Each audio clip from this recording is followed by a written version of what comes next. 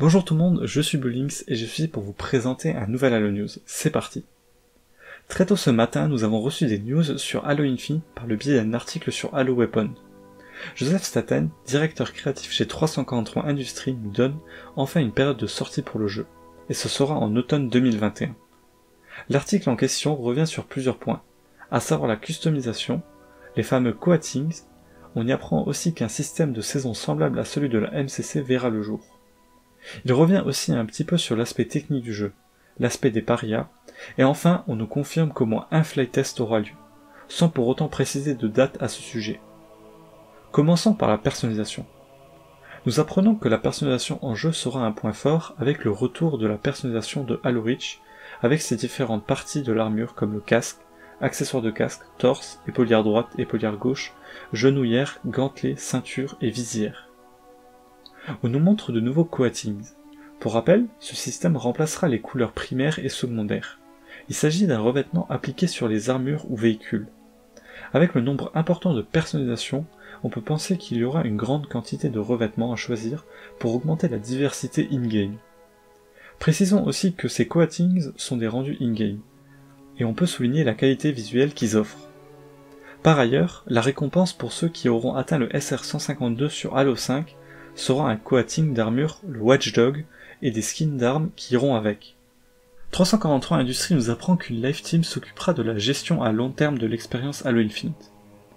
Ils auront pour objectif de faire évoluer Halo Infinite dans le temps avec le retour des joueurs. Le système de saison aura divers objectifs. Favoriser l'engagement des joueurs. Créer de la valeur pour récompenser les joueurs qui investissent temps et argent dans le jeu. Mais un système de pay to win et de lootbox payant ou non sera absent. Permettre aux joueurs de s'exprimer via leur avatar avec des cosmétiques qui n'impacteront pas la jouabilité. L'article met beaucoup l'accent sur le fait que le système économique du jeu se veuille vertueux, ayant conscience de l'inquiétude au sujet des microtransactions. Aspect technique. Nicolas Bouvier, alias Sparte, le directeur artistique du studio, revient sur la démo présentée en juillet 2020.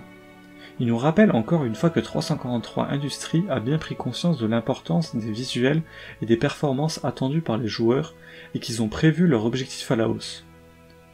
La lumière est au centre de leur attention en évoquant l'illumination globale, l'occlusion ambiante, les ombres, l'éclairage volumétrique ou encore les effets atmosphériques pour être exhaustifs.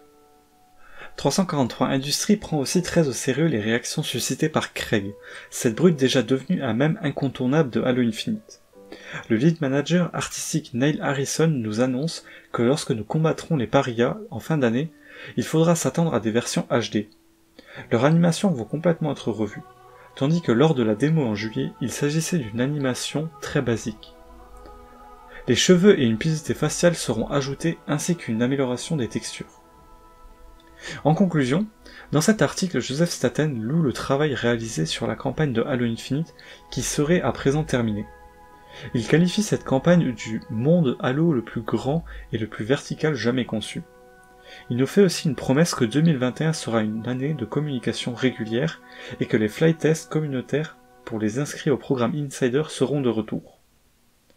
Enfin des nouvelles sur Halo Infinite qui se fait vraiment désirer. Automne 2021 c'est loin, mais au moins nous sommes enfin fixés sur une date. Avec une communication régulière et des flight tests annoncés, il semblerait qu'Halo Infinite se précise enfin et annonce du concret. Et bien voilà, cette vidéo touche à sa fin, j'espère que ces infos sur Halo Infinite vous auront plu. Il me reste plus qu'à vous souhaiter une bonne journée et à la prochaine pour des infos sur Halo Infinite, et bien évidemment, vive Halo